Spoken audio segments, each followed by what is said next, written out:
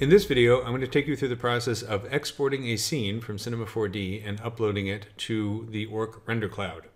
The Orc Render Cloud is a GPU-based rendering service provided by Otoy, and to learn more about it, you can go to orc.otoy.com. Check out on this menu, we have information on uh, help and feedback, preferences, how to purchase credits, how to set up a profile, uh, also information on RenderToken, which you can also use to purchase render credits, and so on. But first, let's go over to Cinema 4D and take a look at the scene. So for this video, I'm using the cantina.c4d scene.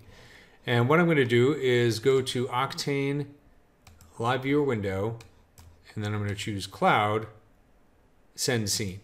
And so what this is going to do is it's going to give me an opportunity to save the scene. So I'll save it as cantina.orbx and go ahead and replace it.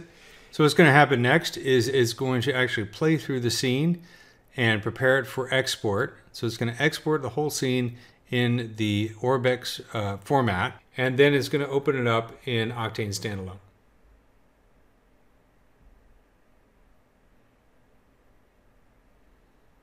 And if I go and click on the render target in Octane Standalone, it will render the scene here. And you can see I have my timeline, so I have my camera move and everything.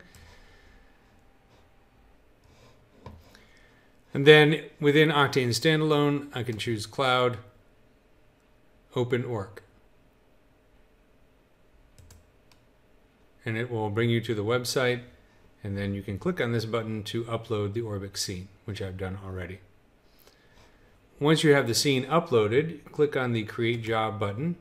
This will bring you to the page for creating a job where you can adjust things uh, that you have your scene. So currently I have this set at 1280 by 720. Number of samples, could probably bring that down significantly. Depends on the scene, of course. Uh, frame range, there's a little recommendation here for testing the current configuration with 10 or fewer frames just to make sure everything is, comes out okay. So you can ch choose to do that. It's not a bad idea if you're going to be spending money on rendering it. You want to make sure that everything renders okay. Uh, you can set your Octane version and then add your output type. So if you're going to do PNG, EXR, deep image, or OKX format, uh, if I select PNG, it will give me the option of adding a second output. So I could do PNG uh, and EXR, or maybe an 8-bit version and a 16-bit version, just depends on what I need.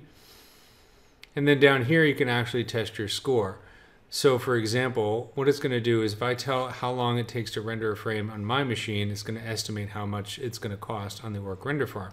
So if I click on this, I can search for my GPU. So I'm using a 1080, sorry, 1080 Ti.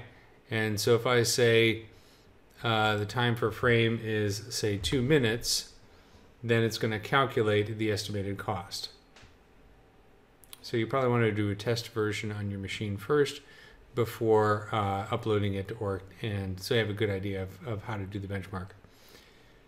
And then once you're ready, and make sure you have enough credits available, go ahead and press the render job. It will render the scene and then send you an email when it's complete. And then of course, you'll have instructions on how to download the frame sequence.